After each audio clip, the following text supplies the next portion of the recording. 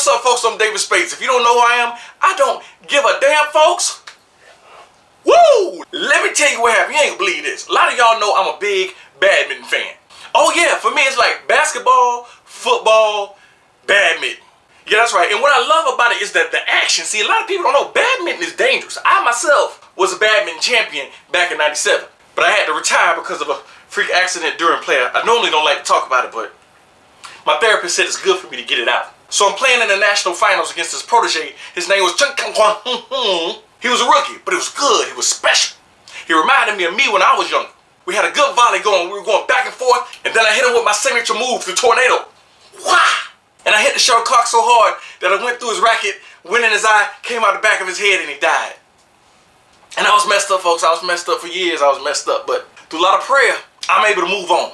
Anyway, back to the story. So, I'm still a big fan.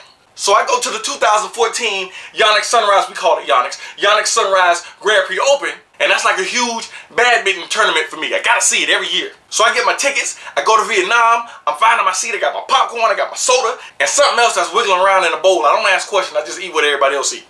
I sit down getting ready to watch the match, and I hear something. And I say, hey, hey, hey Vietnamese people, did y'all hear that? And somebody yelled, Shut musiki hajima, teji which basically means, you know, shut up fat boy in Korean, which is really odd because we was in Vietnam. But anyway, I said, okay, all right, my bad. I, I, I, thought I heard something. I sit back down, start drinking my soda, eating my popcorn. Then I thought I felt something, like a little rumble.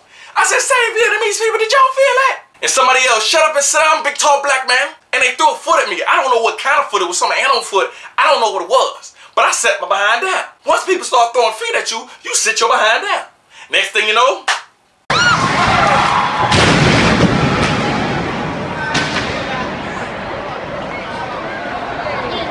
And I said, oh, shit. Did you see that? I told you. I told you.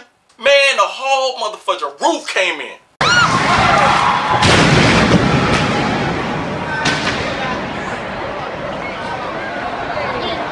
Happy New Year!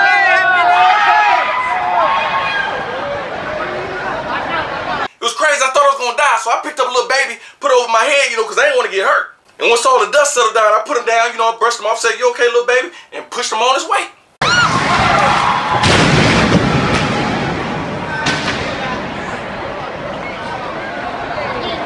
Happy New Year!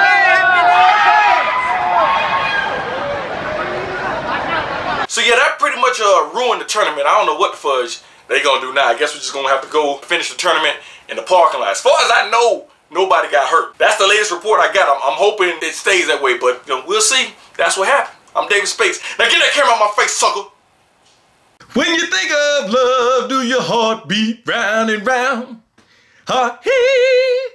When you think of love, do your feet jump off the ground? DavidSpates.com. Hey!